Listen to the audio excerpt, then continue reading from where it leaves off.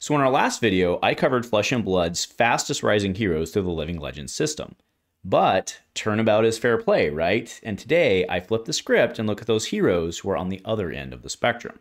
Now, given that Fab is at its five year mark and not a one of the four OG heroes has yet to hit LL, it would imply their presence at the back of the pack.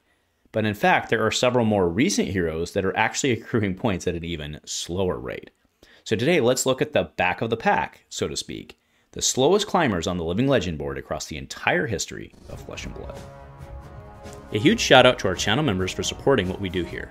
If you want to get involved with the channel and the Dice Commando community, please consider joining as a channel member. Remember, these videos are only possible with your support. You can show that support with a like, a subscribe, and by leaving us a comment and sharing your feedback. Community first, and go Commando.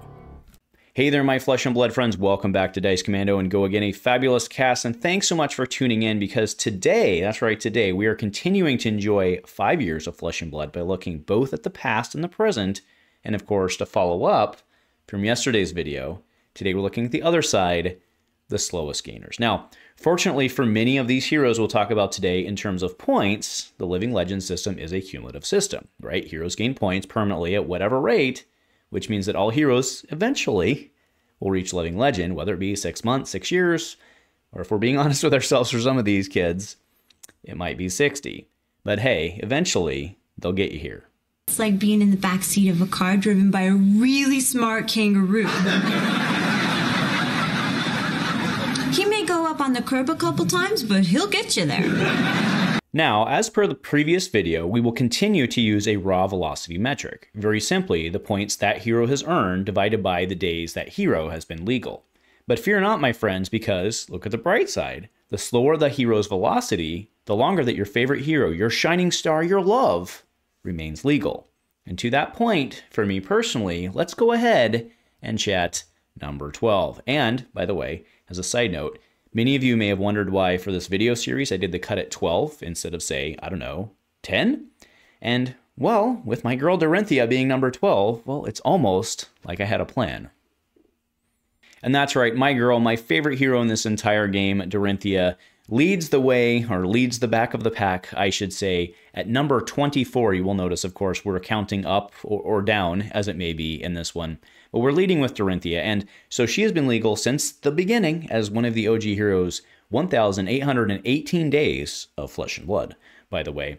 With, uh, actually, it's a little more than that because I did the cut before that, but you get the point. It's been a while since the OG. She has 575 LL points with a velocity factor of 0.279. Compare that to uh, Starvo, who we saw yesterday, who was, let's just say, significantly higher, right? But Dorinthea kicks off a very interesting conversation about the OG heroes. Now, spoiler alert, we will not see all of the OG heroes on this list. Uh, and again, I, I kind of want to put in context when I talk the OG heroes, it could mean two things. It could mean the four OG heroes, but really, it, I consider the first eight heroes to be OG in in the grandest sense, right? And regardless, we haven't seen any WTR heroes go. We haven't seen any ARC heroes go. Of the eight, the only one that's even really close and will probably lose soon, to be fair, is Dash. Right now, there, there's a bit of a chat there because this is one of the cases where I think the, the pandemic actually helped Flesh and Blood in terms of this from a legality standpoint. As we really think about you know, would there have been ProQuests and RTNs and stuff around the globe in the way back days? Of course not, right? They were still growing, but there would have certainly been more points earned over that what 18 month ish period of COVID, right? Whatever whatever it mathed out to, we can all acknowledge that there were points lost or uh, not lost, points not realized during that time, right? Which certainly affected Dorinthea as well as many of the other heroes. Okay, now Dorinthea herself awesome. I hope she stays alive forever. And I also hope that when I go back, I, I, I was really surprised we didn't see a, a uh, light Dorinthea in Dusk Till Dawn. I still think it's coming. I still think it's coming. Let me know below if you agree if it's coming or not. Right, now moving on to number 25 is another warrior, another one of my heroes. Go figure. Sir Boltyn, Breaker of Dawn. So he's been legal since Mon dropped for a total of 1,244 days, earning 347 LL points, just below Dorinthea at a velocity factor of 0.279. Now, Boltyn is like, and you'll see this, it's very consistent theme throughout this entire video. A lot of the heroes on here, it does not mean they're bad at all. They have super loyal followings, and a lot of people are very good at playing them. And Boltyn might be the poster child for that in many cases. You have individual like Boltyn on the whole, not a great hero, but there are some people who can really do things with Boltyn, and uh, he's going to be legal for a long time. So just keep those sabers legal. Make sure that you're taking out the Kassais, so the Kassais can't take your sabers away. Let's just uh, put it that way. Next in 26, and I expect this to change very soon but yeah, that's right. Dash I/O, right? From a pure math standpoint, I mean, look at the points she has. Only 67 points, been legal for 362 days as of the roll up of this. Actually, at the time of the publishing of the video, it's actually been uh, over a year by a couple days. And uh, that's right, velocity factor 0.185. Now, everybody seems very high, very high on Dash I/O, especially with that Armory deck coming out. So we'll see what happens here in the near future. Will we have a repeat of the Lexi situation where she did nothing for a long time? Boom, for three months? Or does the fact that everybody thinks Dash I/O is coming mean that Dash I/O will not succeed because she's being teched into? I don't know. We'll find out very soon. But hey, there are 300 points on the line coming at Worlds, plus a whole boatload during ProQuest season. Moving into next, that's right, Maxx the Hype. Well, he's in the same boat as Dash I/O. That's right, 362 days legal for 59 LL points, a velocity factor of 0.163. And you got to give actually a shout out to the Maxx players. That's a big hill to climb. 59 LL points have been achieved with him so far. That's actually pretty respectable considering where I would have put him if I were to just do a raw ranking. Way higher, actually, than I thought he would be. Next, I'm sorry, Kevin. I love you, my friend. But you know what? Look on the bright side. Rhinar, you're going to have for a long time, right? We've got a great Brute Nation here in PDX. Savage Lands Network. Kevin, who is just the most huggable person in all of Fab. That's right. Rhinar, Intimidate, Rhinar Club. Hey, man, at least the club will be illegal for a long time. You're probably going to lose your claws soon. But you still got the club. And the club, I think, is a really good card. So keep swinging, keep intimidating. Go brute. Barr.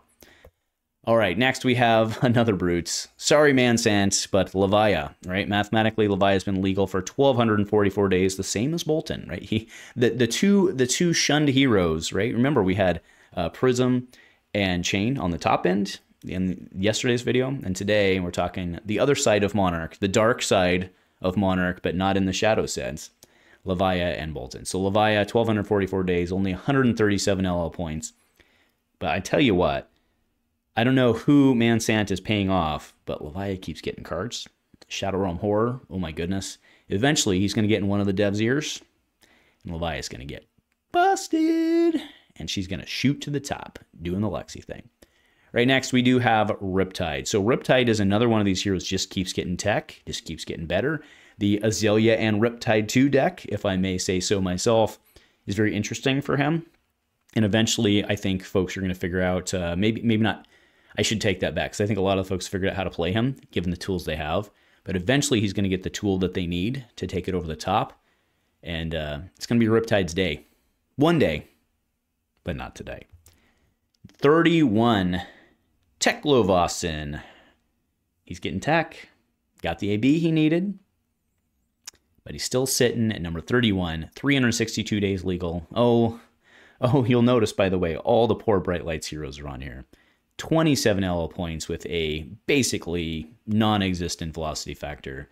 Poor Teklovossen, but hey, those shiny cards look pretty, and at least they're cheap, right? Go check out those decks tech out those decks in the truest sense because you're playing tech. Makes sense. Coming your way. All right, next is Vynnset. This is another deck. I'll just cut right to it. 446 days legal since dusk till dawn. Only earned 15 points, but I think that's going to change very quickly. Vynnset is like really good right now with all the new tools. I I, be- I believe Vynnset to be really good right now with all the new tools. I'll say that. I don't have any data to back that up yet. I think Vynnset's really strong right now. So keep your eye on Vynnset. I do not believe that if we were to do this at year 10, Vynnset would be uh, on this list.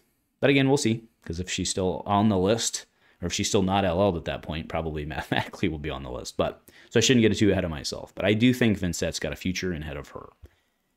Next, we have Olympia. I don't think this one, it's actually probably a surprise to people that Olympia is not lower. Olympia got some points, uh, so seven LL points. I think five of the, I, be, I believe it to be true that five of those came with the single big win on Olympia Hatchets. Which then quickly became Dorinthea Hatchets during heavy hitters, which was way, way, way better. So Olympia needs some help. Some is maybe being generous. Olympia needs some help. Seven LL points since heavy hitters.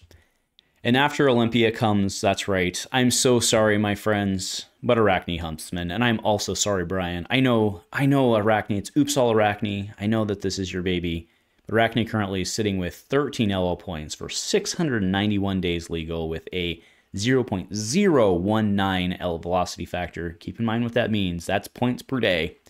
That's pretty low. Arakni, poor Arakni's got some room to run. However, in a disruptive meta, Arakni's favored However, he has this problem where I think Nuu can almost do almost everything better than Arakni, and probably a lot of other things better than Arakni because of the Mystic talent, Mystic talent and access. So, Arakni coming in at number 34, and that's right. Drum roll, please, for our slowest, pun intended, I suppose, hero, which is Betsy Skin in the game. So Betsy has four LL points to her name, been legal for 243 days and she brings up the rear in terms of hero velocity. But look on the bright side, right? Baby Sean, you're going to get to play your favorite hero for a long, long, long time. And I do, again, same vein as Olympia, I think she's going to be getting some serious tech in the future, and I look forward to that. So, anyway, that rounds out the list. This was super awesome. Thank you all for not only today's video, but yesterday's video. And also, if we're at this point, let me know in the comments, right? There's not a lot to debate over this because it's very factual. But let me know in the comments if you enjoyed this or not. Either way, let's celebrate five years of Flesh and Blood. Thank you, LSS. Thank you all for watching. I'm closing in on five years till my first video, believe it or not. I'm getting close. But thank you for watching. Thanks for sticking with me. And go Commando.